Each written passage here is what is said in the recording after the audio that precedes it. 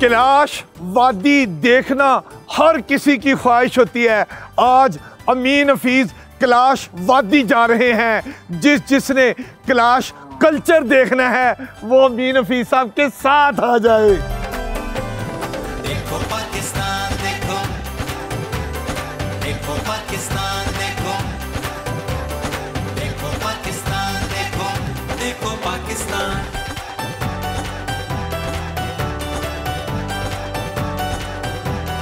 कैलाश वादी में एक नहीं, दो नहीं, पाँच गाँव हैं और उनमें जो सबसे पुराना गाँव है, उसको कहते हैं बतरीक गाँव। ये पुराना गाँव होने के नाते इस गाँव में कैलाश लोग जो हैं, वो अपनी मजहबी रसूमात बहुत ज़्यादा अदा करते हैं। आप अमीन हफीज साहब के साथ रहें। हम आपको कैलाश का सबसे पुराना गाँव दिखाने जा रहे हैं।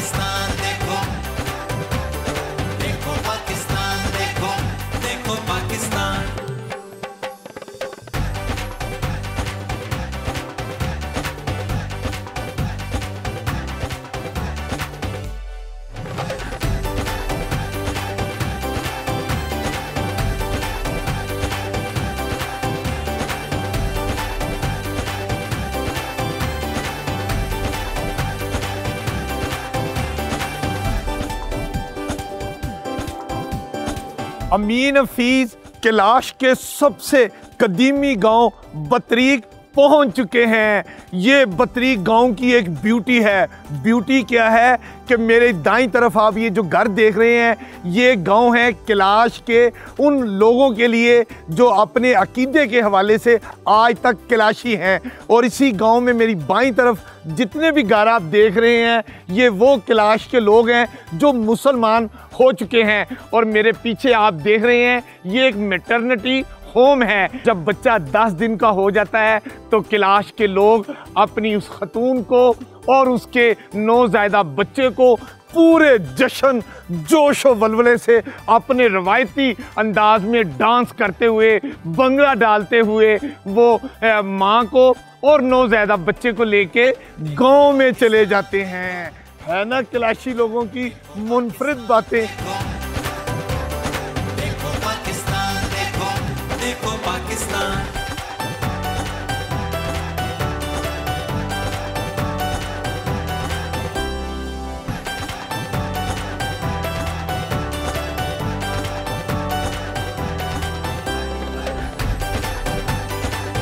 अमीन हफीज बतरीक गाँव के कैलाशी बच्चों के साथ आप बातचीत करेंगे। और ये देखें कैलाश के जो बच्चे हैं वो कितने प्यारे प्यारे बच्चे हैं। अपने मखसूस ड्रेस में माशाल्लाह कितनी प्यारी बेटी है। बेटी आपका नाम क्या है? मायरा। मायरा। मायरा नाम है जी इस प्यारी बेटी का। और आपका क्या नाम है? बीबी। बीबी। वो मायरा है ये बीबी है। आपका नाम क्या है? हाँ आप बताओ जरा खड़े होके खड़े होके बताओ आपका क्या नाम है? हैं? बताओ आपका क्या नाम है? ओ ये बेटी तो इतनी प्यारी कैलाश की बेटी शर्मा रही है। चले आप हमें बताएँ आपका नाम क्या है? रोहन। रोहन आपका गाँव कैसा है? अच्छा। अच्छा है। आप गाँव में अब ये बताओ आप स्कूल जाते हो? हाँ। कौन सी क्लास में? Class two. क्लास टू में? हाँ। और आपके आप यहाँ गाँव में क्या खेल खेलते हो दोस्तों के साथ? क्रिकेट क्रिकेट खेलते हैं हाँ। तो आप बैट्समैन हो या बॉलर हो? बैट्समैन। अब हम आपको मिलवाते हैं कि इस बतरी गाँव के जो काजी हैं वो आप हैं। क्या नाम है आपका? गुलमीर। गुलमीर। ये गुलमीर साहब हैं और ये काजी हैं बतरी गाँव के। आपका क्या नाम है जी? सर मेरा नाम गाजी मोहम्मद है और मैं बदरीक गाँव के जो कदीमी सकाफत वाले गाँव हैं उसी से ताल्लुक़ रखता हूँ। और जितने भी कलाश लोग यहाँ पे है और सबसे पुरानी गाँव यही है। यहाँ पे फेस्टिवल्स भी जोशी फेस्टिवल और चौमोस फेस्टिवल दोनों यहाँ पे बड़े बड़े फेस्टिवल होते हैं। और कुछ फैसिलिटीज़ कब कब फेस्टिवल होते हैं ये वाले? मई में? मई में होते हैं पंद्रह सोलह मई को और अभी दिसंबर में चल रहा है तकरीबन बाईस तक है ये। ठीक है। और कुछ अच्छा ये आपका जो गाँव का फेस्टिवल होता है जो मई में होता है उसकी खूबी बताएँ क्या क्या होता है उस फेस्टिवल में? उस फेस्टिवल में बहुत सारे लोग यहाँ पे आ जाते हैं और कलाश सकाफ़त के जितने भी पुराने रस्मात होते हैं, वो अदा की जाती है और एक्स्ट्रा पाकिस्तान के मुख्तलिफ़ शहरों से भी लोग यहाँ पे आ जाते हैं। और इसमें स्पेस नहीं होता, जो जगह अभी बन रहा है डांसिंग प्लेस ये तो अभी कुछ बेहतर हो जाएगा। इससे पहले तो बहुत तंग था यहाँ पे लोगों के लिए स्पेस भी नहीं होता था। बहुत मुश्किलें यहाँ पे होते हैं, लेकिन जो कदीमी सकाफ़ती गाँव है, उनमें से सबसे पुराना गाँव बदरीक है। और इसमें फैसिलिटीज़ मतलब जो सहूलियात होना चाहिए वो अवेलेबल नहीं है। अगर वो भी हो जाए तो बहुत मसलन क्या होना चाहिए आपके ख्याल में? यहाँ पे रोड होना चाहिए पानी की सहूलियत होना चाहिए बच्चों को खेलने के लिए प्ले ग्राउंड होना चाहिए। सही। और आपका जो फेस्टिवल है जो मई में होता है उसमें क्या क्या होता है? खातन क्या करती हैं? बच्चे क्या करते हैं? बड़े बुज़ुर्ग क्या करते हैं फेस्टिवल में? बच्चे डांस करते हैं और अच्छा। खातन भी डांस करते हैं और बड़े बुज़ुर्ग डांस करते बिल्कुल सर ऐसे ही और का- और बड़े जो काजियाँ होते हैं वो आपस में जो पुरानी सकाफती गीत है वो गाया करते हैं हाँ। और उसी तरह मतलब ढोल की भी चार पाँच धुन हैं हाँ। वो इसी तरह स्टेप बाय स्टेप वो सुनाते हैं और डांस शाम हाँ। तक जारी रहता है बाहर की आमद में बहुत प्यारी जैसे ईद है हमारा जोशी है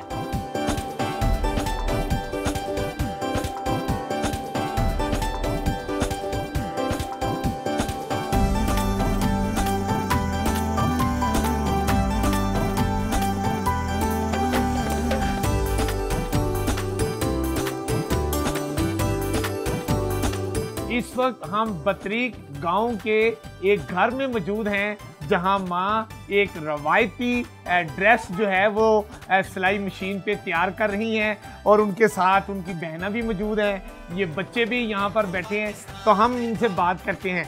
जी बहन ये बताइए आप ये जो ड्रेस तैयार करते हैं ये कितनी देर में एक ड्रेस तैयार हो जाता है? ये चार पाँच दिन में तैयार होते हैं सर। चार पाँच दिन में? और उस पर कितने पैसे खर्च हो जाते हैं? खर्च तो ज़्यादा होते हैं। दो तीन ये खर्च होता है और इसके साथ ये वाला। ये कितने पैसे लग जाते हैं? ये सारे मिल के ये सारे मिल के सिर्फ़ पाँच छः बनते हैं। पाँच छः हज़ार खर्च होता है। तो ये सूट कितने में कोई लेना चाहे तो कितने में मिलता है उसको पता नहीं सर हम अब तक नहीं भेजा है। सिर्फ़ हमने लिए बनाते हैं। अपने भेजा नहीं है।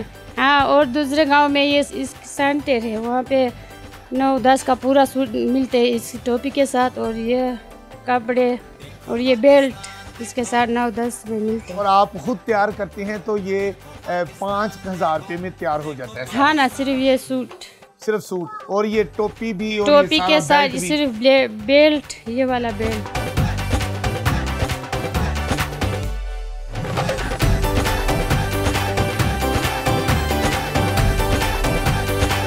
बतरी गाँव के ये प्यारी प्यारी बेटियाँ हमारे साथ मौजूद हैं ये फैमिली है इनसे हम बात करते हैं। हमारी बेटी का क्या नाम है? सफीरा। सफीरा कितना प्यारा नाम है।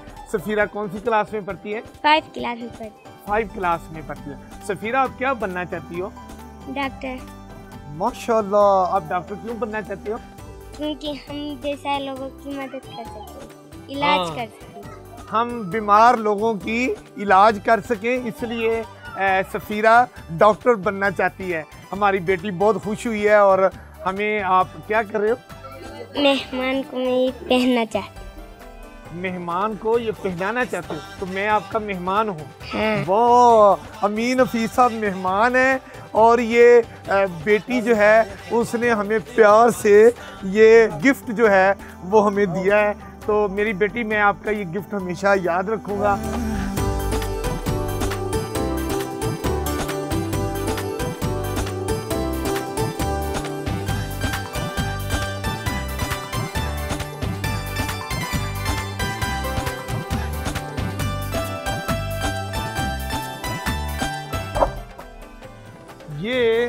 जनाजगा है, लेकिन क्लास ज़ुबान में इसको जस्टिक खन कहते हैं।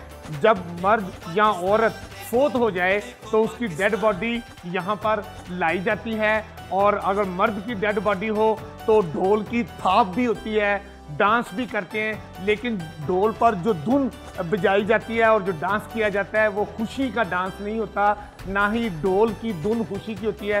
सोगवार अंदाज में यहाँ पर ये ढोल जो है वो बजाया जाता है मर्द की मैय पर। लेकिन खतून की मैयत पर कोई यहाँ पर ढोल नहीं बजाया जाता, ना ही डांस होता है। वहाँ सिर्फ़ जो रिश्तेदार हैं, इलाके के ख़वातीन मर्द जो हैं, वो यहाँ पर खतून की मैयत के करीब सोगवार अंदाज में बैठते हैं। देखो पाकिस्तान।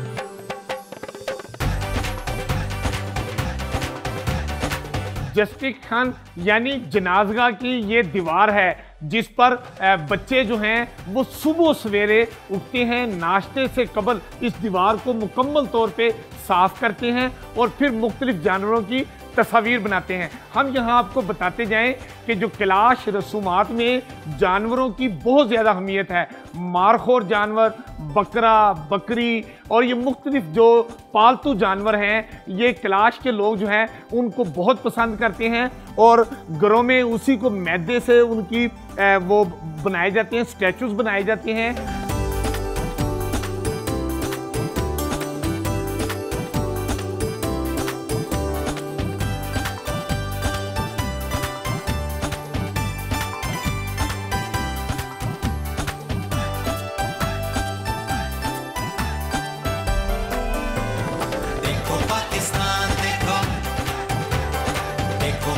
कैलाश कबीले का ये सबसे बड़ा इबादत खाना है, जिसको देवादुर कहा जाता है।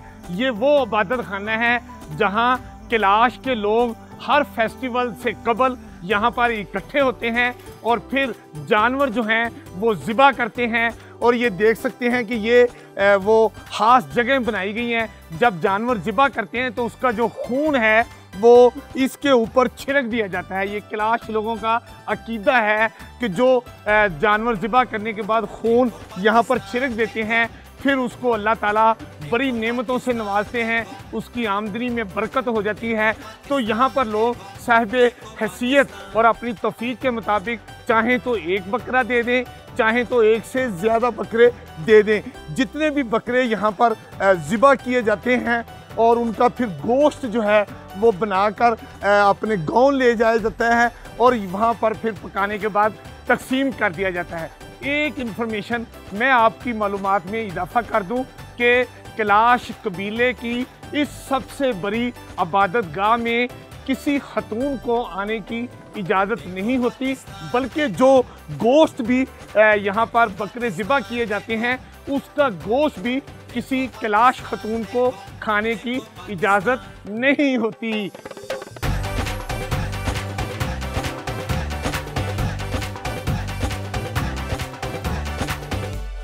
टेंपल की पहचान ये है कि उसके राइट लेफ़्ट साइड पे, दरवाजे पे, उस पर रैम हेड्स जो है वुडन रैम हेड्स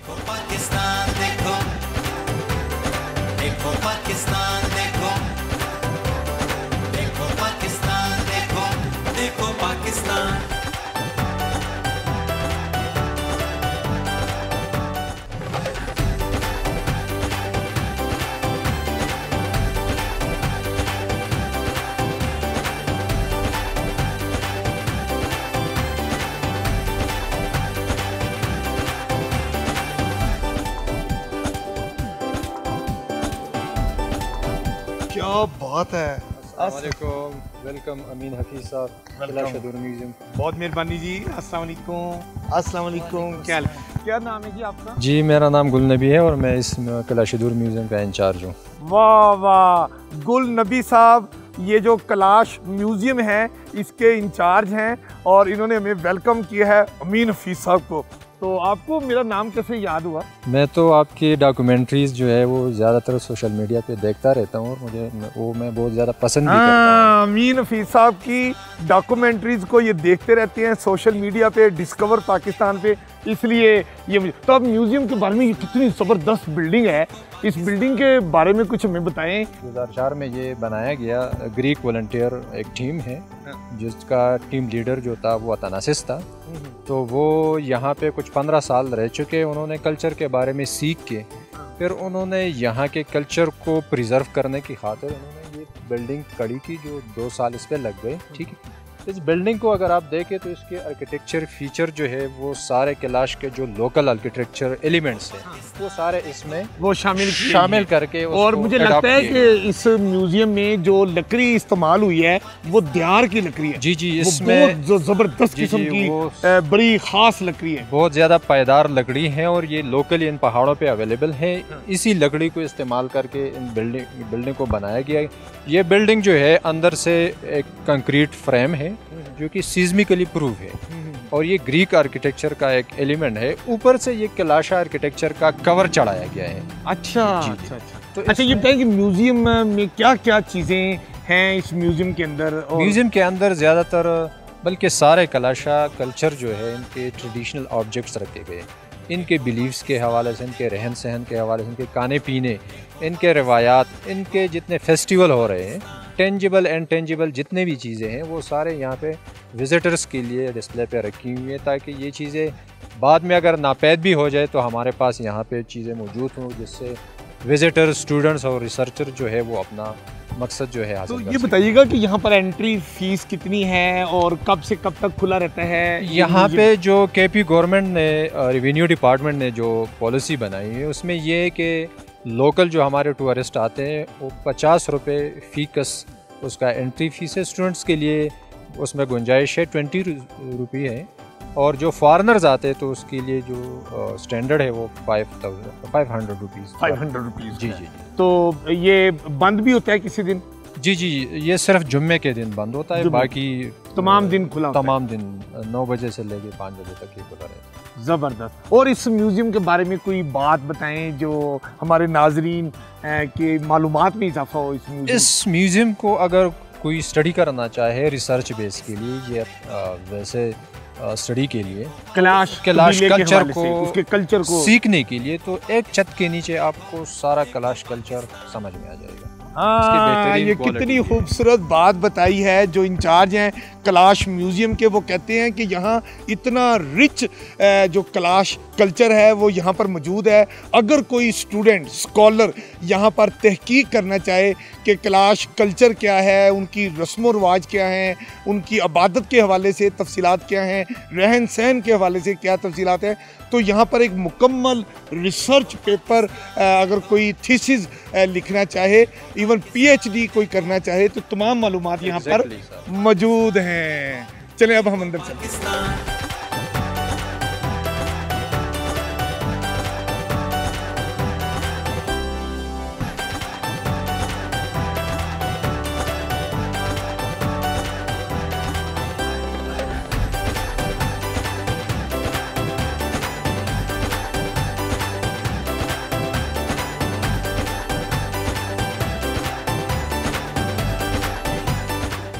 हैं ये क्या है यहाँ पर? ये जो गैलरी है इसमें इनके जो traditional Kalasha traditional woollen dresses हैं वो सारे इसमें रखे गए हैं। इसमें इनके ड्रेसेस हैं और जो शॉल्स लेडी स्पेशली इस फेस्टिवल के दौरान फ़ैशन के तौर पर इस्तेमाल करते हैं। वो भी तो वो भी इधर पड़े हुए हैं। इसके अलावा जो मर्दों को जूते पहनाए जाते हैं जिस पे एम्ब्रॉयडरी वर्क हो चुके हैं तो वो भी इधर पड़ेंगे हैं। तो सारे इनके जो पहनने की चीज़ें जी ये मुकम्मल ड्रेस चीज़ें हैं। तो इसमें ये बच्चों के हैं और ये जो है तो ये लेडी ड्रेस है जो कि वुलन है। इसका टैक्स जो है जो जिस जिन चीज़ों से ये बनते हैं पहले तो वुलन होते थे। आजकल ये जो है रेडीमेड काटन आता है उससे बने लेकिन कलर वही है ब्लैक कलर है। चले आगे देखते हैं जी ये देखते हैं। ये बताइए ये क्या चीज़ें हैं जी? ये आप इनके बारे में कुछ हमें बताएँ।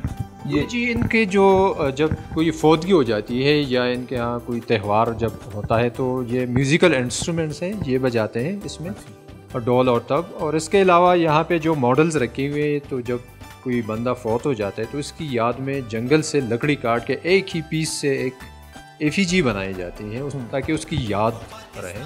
तो जिस जगह पे उनको दफनाया जाता है वहीं पे इसको इंस्टॉल किया जाए। तो ये दो तरह के होते हैं। एक कब्रिस्तान में इंस्टॉल करते हैं एक जो है गाँव के एंट्रेंस पे। अगर कोई एमिनेंट बॉडी है तो उसके लिए एक जो गाँव है उसके एंट्रेंस पे भी लगाया जा रहे थे। हमें दिखाएँ जी ये गैलरीज बनाई हैं ये क्या ये है? जी अ, कलाशा वेरांदा है उसका एक मॉडल बनाया गया कि एक्चुअल वेरांदा किस तरह होता है कैलाश का ठीक है? ये उसका एक मिनी मॉडल है।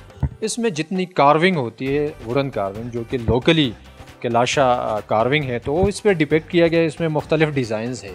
जितनी भी चीज़ें कैलाश कल्चर में इस्तेमाल होती है वो लोकली अवेलेबल जो मटेरियल है वही इस्तेमाल और हैं। यहाँ दियार की लकड़ी दरख्त बहुत जी जी यहाँ सारे जंगल पहाड़ जो है जंगल से बड़े बड़े हैं। यहाँ कैलाश में जितना जंगल है और जितनी लकड़ी है वो दियार की है। दियार की हाय है। हाय अगर मीन फ़ी साहब यहाँ से कोई लकड़ी ले जाके उसका खास फर्नीचर बनाना चाहें तो उसकी इजाज़त है तो यहाँ फॉरेस्ट वाले आपको डायरेक्टली पकड़ के जेल में डलवाए नहीं नहीं नहीं देखिए मैं लकड़ी अगर खरीदना चाहूँ जी। जी तो प्रॉपर प्रोसीजर है प्रोसीजर है तो वो लकड़ी मिल सकती है। बिल्कुल अब हम आगे चलते हैं। जी हमें और दिखाइए क्या क्या चीज़ें हैं। हाँ ये देखें क्लैश की जो ड्रेस होता है और उसके ऊपर जो कैप होती है जी जी। ये महल वो तैयार हो दस्तकारी जो जितनी भी एटीज़ से पहले इनके जितने भी रोज़मर्रा की ज़िंदगी के इस्तेमाल की चीज़ें होती थी तो वो लोकली अपने घर के अंदर ही बनाते थे। वो खाडी जिसको बोलते खड्डी जिसको बोलते हैं। तो ये वूल जो है शीप और गोट से हासिल करके ठीक है उसके तस्वीरों में दिखाए गए हैं। ये क्या है? ये क्या बना हुआ है? अच्छा ये अ, पुराना जो टेंपल था कैलाशू का 2008 में उन्होंने उसको गिराना चाहा। तो ग्रीक्स ने उनसे जो पुराने एलिमेंट्स थे वो ख़रीद के यहाँ पे प्रिजर्व किए ताकि हमारे पास पुरानी जो ओरिजिनल चीज़ें हैं वो रहे। तो ये गेट का राइट साइड है और ये लेफ़्ट साइड है तो टेंपल की पहचान ये है कि उसके राइट लेफ़्ट साइड पे, दरवाजे पे, उस पर रैम हेड्स जो है, वुडन रैम हेड्स। तो ये बकरे दुम्बे का सर है।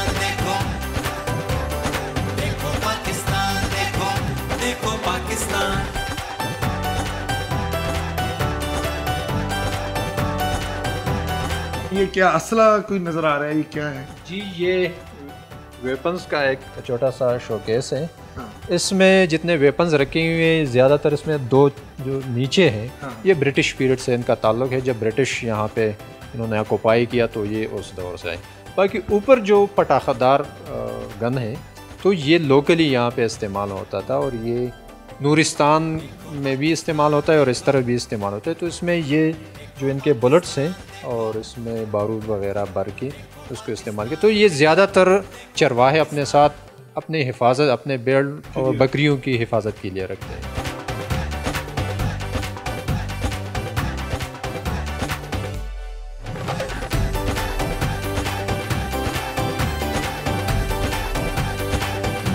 में हमने जहाँ आपको नित नई चीज़ें दिखाई, वहाँ पर हम आपको एक ऐसा घर भी दिखाने जा रहे हैं, जो 250 साल पुराना है और इस घर को गाँव से उठाकर ओरिजिनल हालत में यहाँ पर प्रिजर्व कर दिया गया है। तो हम गुल नबी साहब से चाहेंगे कि वो हमें इस पुराने 250 साल, पुराने घर के बारे में क्या क्या चीज़ें अंदर मौजूद हैं वो इसमें जी जितने भी चीज़ें कलाश कल्चर के हवाले से, कलाश घर के अंदर जो चीज़ें मौजूद होती हैं, वो सारी चीज़ें यहाँ डिस्प्ले पे रखी हुई हैं, ठीक है, अपनी ओरिजिनल हालत में। लेकिन इसके साथ साथ मैं ये भी बताता चलूँ कि यहाँ पे, म्यूज़ियम के अंदर हमारे साथ जितना भी स्टाफ है मेल एंड फीमेल, वो सारे इस कैलाश कम्यूनिटी से रिक्रूट किए गए हैं, ताकि इस अपने कल्चर की ख़ुद हिफाजत भी कर सकें और जितने भी विज़िटर्स आते हैं टूरिस्ट आते हैं, उनको अच्छे तरीके से ब्रीफिंग भी दें। एक्सप्लेन भी कर सकें। ये देखें ना म्यूज़ियम की खूबी है कि इस घर को और इस म्यूज़ियम को जो बताने वाले हैं, आगाही देने वाले हैं, वो भी कैलाश कम्युनिटी के लोग हैं। चलिए जब हम अंदर चलते हैं। हाय हाय, क्या ज़बरदस्त सीढ़ी है।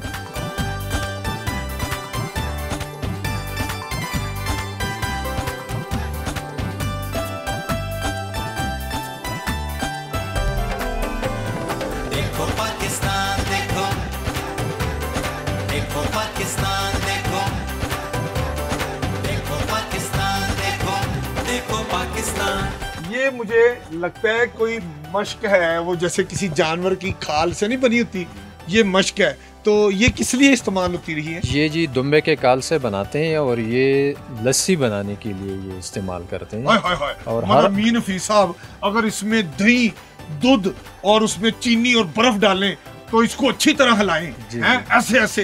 तो लस्सी बन जाएगी। बहुत ज़बरदस्त लेकिन हम लाहौर में तो लस्सी बनाते हैं उसमें कुंडे में डाल के ना सारा कुछ और फिर रखते हैं ज़बरदस्त। तो इस ये जो खाल है जानवर की दुम्बे की खाल इसमें ये सारा मटेरियल इसमें सारा मटेरियल डाल के और उसको अपना एक तरीका है उसके ज़रिए हिला के। अच्छा। ठीक है ना तो उससे वो लस्सी भी बन जाती है उसका जो पनीर वगैरह होता है या जो एक्सट्रैक्ट होते हैं मक्खन। मक्खन वगैरह वो सारे निकाल के वो भी आराम से। तो ये जो हम बर्तन देख रहे हैं और ये जो ऊपर ये सींग है जी जितने भी जानवर ये लोग ज़बह करते हैं किलाशी तो इनका सींग भी इनके लिए चूँकि जानवर सारे इनके लिए मुकदस है और इनके साथ उनका बहुत ज़्यादा फितरी लगाव है।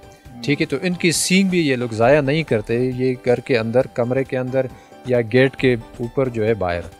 वहाँ पे लगा के ये इस तरह करते हैं तो ये, और इसको जला के, उसका पेस्ट बना के टम्परेचर को डाउन करने के लिए भी इसको यहाँ माथे पे और चेहरे पे लगा के इस्तेमाल करें। एज ए मेडिसिन भी इसको इस्तेमाल करते हैं।